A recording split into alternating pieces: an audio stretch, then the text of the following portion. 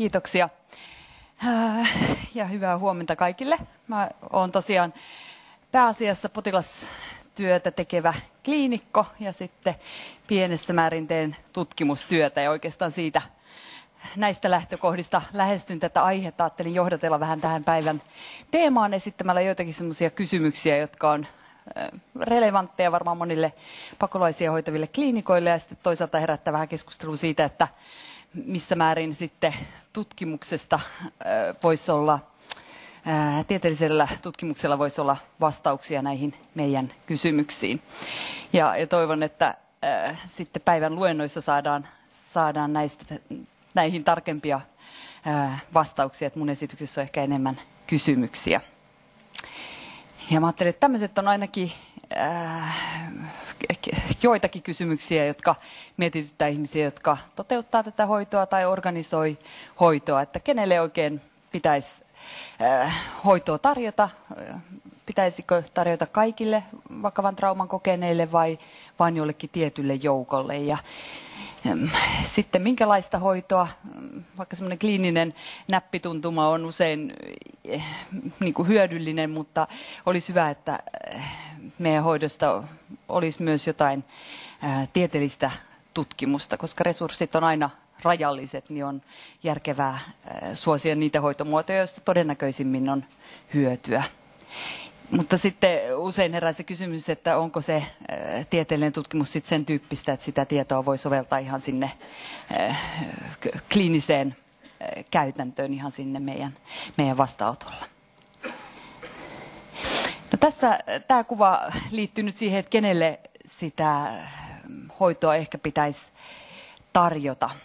Tämä on semmoisen resilienssitutkijan katsauksesta kuva ja tätä ei nyt kannata ottaa ihan niin kuin esimerkiksi prosenttilukuja sillä tavalla kirjaimellisesti. Tämä antaa semmoisen, tässä kuvataan semmoisia prototyyppejä, mitä hänen tutkimusryhmänsä on hahmotellut, että mitä äh, tämmöisen äh, mahdollisesti traumatisoivan tapahtuman jälkeen, minkälaisen kuin tavallaan oirekulkuja on. Ja tämä ei liity nyt mihinkään tiettyyn aineistoon eikä, eikä tiettyyn traumatapahtumaan, vaan tämä on semmoinen äh, yhteenveto tästä aiheesta. Toi PTE on siis tämmöinen mahdollisesti traumatisoiva ää, tapahtuma.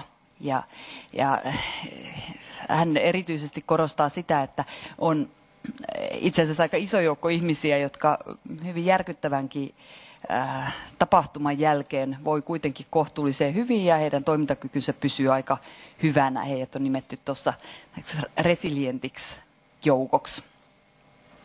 Mehän tiedetään, että esimerkiksi pakolaistaustaisista ei läheskään kaikki, suurin osa ei täytä esimerkiksi traumaperäisen stressihäiriön kriteereitä missään vaiheessa.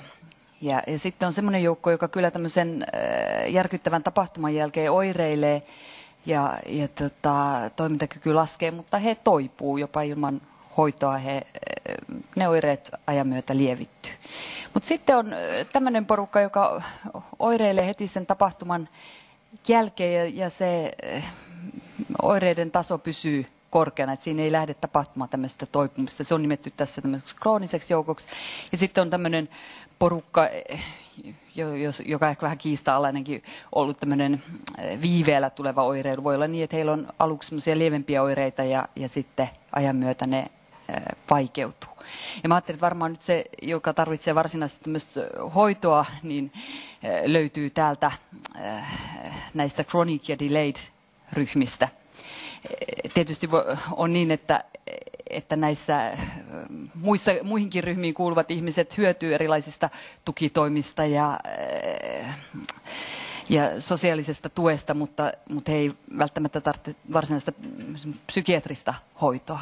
Ja sitten voi olla niin, että kaikissa näissä ryhmissä on ihmisiä, joilla on ää, ähm, muuta psyykkistä oireilua, joka ei varsinaisesti liity mitenkään siihen traumatapahtumaan, että voi olla, että on sen takia hoidon tarpeessa. Mutta tässä kuvataan nyt erityisesti traumaperäistä oireilua. No sitten niistä hoidoista, täytyy sanoa, että pakolaisväestössä näitä tutkimuksia on aika vähän ja eh, osa ei ole laadullisesti kovin hyviä tai sitten että, on ollut hyvin valikoitunut joukko pakolaisia, joka on, on otettu näihin tutkimuksiin. Mutta tota, tässä on nyt muutamasta systemaattisesta katsauksesta poimittu se tieto, että mistä nyt todennäköisimmin olisi hyötyä, niin aina niissä nousee nämä kaksi, eli tämä narratiivinen altistusterapia, josta Kirsi Peltonen kertoo tänään tarkemmin, ja, ja sitten kognitiivinen terapia, josta saattaa olla, että tämä niin traumaan keskittyvä hoito tai sitten kulttuuristen tekijöiden perusteella modifioitu hoito olisi erityisen hyödyllistä tässä väestössä. Näitä terapeutteja ei Suomessa ole kovin paljon, mutta toisaalta Suomessa on paljon psykoterapeutteja ja, ja lisäkoulutuksella nämäkin taidot voisivat olla ihan hyvin omaksuttavissa. Esimerkiksi toinen koulutus, josta Kersi kertoi, niin siinä on aika suhteellisen lyhytkin se äh, koulutus.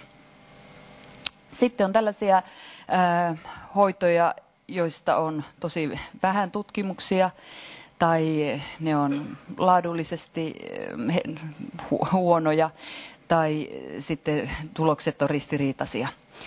Ja se ei tarkoita sitä, että etteikö tämmöisistä voisi yksittäisten potilaiden kohdalla olla ää, hyötyä, mutta se ää, näyttö ei ole niin vankkaa, että ää, niin suuressa mittakaavassa kannattaisi ehkä näihin ensisijaisesti resurssoida. Sitten mä ajattelin, että mä esittelen yhden ää, yksittäisen tutkimuksen. Mä otin tämän sen takia, kun tämä on semmoinen semmoiselta tanskalaiselta klinikalta, jossa ää, nämä, hyvin, nämä tutkimusolosuhteet on hyvin lähellä semmoista tavallista ää, kliinistä arkea. Et siinä e, oli kauhean vähän poissulkukriteereitä, että et siihen tutkimukseen otettiin sen tyylisiä potilaita, joita muutenkin hoidetaan tämmöisellä ää, klinikalla. Ja, ja sit lisäksi mä ajattelin, että ehkä Tanskan olosuhteet jossain määrin voi ää, muistuttaa ää, näitä Suomen Suomen niin terveydenhuoltojärjestelmän suhteet sillä tavalla, tämä voisi olla sovellettavissa meille. Eli, eli he äh, seulo sieltä klinikan potilaista tämmöisiä pakolaistaustaisia ää, äh, tai potilaita, joilla on traumaperäistä oireilua ja ainut, että ei saanut olla nyt esimerkiksi skitsofreniaa tai muuta pitkäaikaista psykoosisairautta eikä aktiivista päihderiippuvuutta. Muuten siinä oli aika vähän poissulkukriteereitä. Ja siihen sitten valikoitu henkilöitä, joista suurin osa oli Lähi-idästä, oli, oli muualtakin, mutta valtaosa tuli sieltä. He oli ollut Tanskassa aika pitkään ja, ja oireilu myöskin pitkään. Ja niin kuin näkyy, niin heillä oli myös muita oireita kuin tämä tota, traumaperäinen oire. Melkein kaikilla oli, se oli joku 94 prosenttia, oli masennus ja toi psykoosioireita, mahdollisesti aivovammaa ja somaattisia sairauksia. Ja siinä jaettiin heidät kolmeen hoitoryhmään ja sitten oli yksi verrokkiryhmä. Ja ää, yksi hoitoryhmä oli tämmöinen, jossa ää, potilaat sai lääkitystä, sertraliini, masennuslääkettä, ää, ja sitten osa sai mianseriin ja univaikeuksiin. Ja he tapas kymmenen kertaa lääkäriä, joka seurasi sitä lääkitystä ja samalla heillä oli semmoinen manualisoitu psykoedukaatio, joka kerta käsiteltiin jotain teemaa, joka liittyy traumaperäiseen oireiluun. Esimerkiksi ähm, tehtiin rentoutusharjoituksia tai ähm, puhuttiin liikunnan merkityksestä, kivusta, mm, perheasioista. Siinä oli semmoinen ihan selkeä manuaali sitä varten. Sitten oli semmoinen ryhmä, joka tapasi 16 kertaa, tai tavoite oli, että he olisivat tavannut 16 kertaa psykologia, jolla on kognitiivisen terapian koulutus, ja oli erityisesti tätä tutkimusta varten räätälöity semmoinen kognitiivisen terapian jakso. Ja sitten yksi porukka sai molempia näitä sekä lääkitystä ja psykoedukaatiota että sitten psykoterapiaa. Ja sitten oli verrokkiryhmä tämmöiset äh, potilaat, jotka ei saanut mitään hoitoa siellä klinikalla. Jos heillä oli käytössä äh, joku lääkitys niin kuin lähettävältä taholta, niin he jatko toki sitä, mutta mitään semmoista äh, hoitoa tässä tutkimuksessa heille ei tarjottu. Ja sitten verrattiin oireita ennen hoitoa ja sen jälkeen. Osa oli potilaiden itsensä raportoimia ja osa oli sitten näiden työntekijöiden arvioimina. Tämä kaavio näkyy varmaan hirveän huonosti sinne, sinne lähinnä näkyisi ne äh, tota, lukumäärät, eli, eli oliko nyt 380, joita niin kuin screenattiin siihen ja, ja noin 280 äh, sitten täytti ne kriteerit ja oli suostuvaisia. Ja sitten noin 70 tuli jokaiseen ryhmään, hoitoryhmiin ja, ja tähän verrokkiryhmään. Ja sitten sit jäi lopulta noin 50, joilta sitten kaikki tieto pystyttiin analysoimaan. Ja se he oli etukäteen arvioinut, että se olikin se, mikä niin tilastollisen voiman suhteen on, on riittävä määrä. Et voitte kuvitella, että on aika iso työ näin, näin iso määrä tutkimuspotilaita hoitaa ja arvioida. Ja tässä on ne tulokset. Pettymys millään hoidolla ei ollut vaikutusta niihin traumaperäisiin oireisiin, mikä tässä oli se ensisijainen ää, tota, vastemuuttaja, mitä seurattiin. Ja eipä oikeastaan niihin muihinkaan, että ainut oli joku ihan pieni muutos masennusoireissa. Potilaat oli silti tyytyväisiä, he koki, että tästä oli niin kuin jotain hyötyä, että heidän vointi olisi kohentunut, vaikka sitten he ei kuitenkaan raportoinut yhtään vähempää niitä niitä oireita. Ja nämä tutkijat itse pohti erilaisia rajoituksia ja, ja tota, muut tutkijat on esittänyt kritiikkiä, että esimerkiksi se kognitiivinen terapia ehkä ei ollut tarpeeksi systemaattinen, siinä ei ollut tarpeeksi altistusta ja ehkä olisi pitänyt olla enemmän itsessioita tai monet toteutu tulkin kanssa, ehkä niiden olisi pitänyt olla pidempiä. Mutta sitten tosiasia on myös, että tässä oli tosi pitkään oireilleita ää, potilaita, heillä oli vaikeita ää, oireita, heillä oli paljon muita ongelmia ja, ja ää, nämä tutkijat on muussa yhteydessä kuvannut, että oli paljon myös niin taloudellisia ja sosiaalisia ongelmia.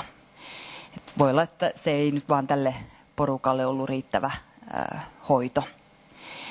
Ja sit, jos tästä voi jotain johtopäätöksiä sanoa, niin ajattelen, että tulisi tosi tärkeää, että tämmöistä tutkimusta tehtäisiin enemmän nimenomaan pakolaisväestöissä ja että sitä tehtäisiin myös Suomessa. Se olisi meille tosi hyödyllistä tietoa, mutta se on, niin kuin näkyy, niin tosi haastavaa ja vaatisi paljon päteviä tekijöitä ja, ja myöskin rahoitusta se, se edellyttäisi.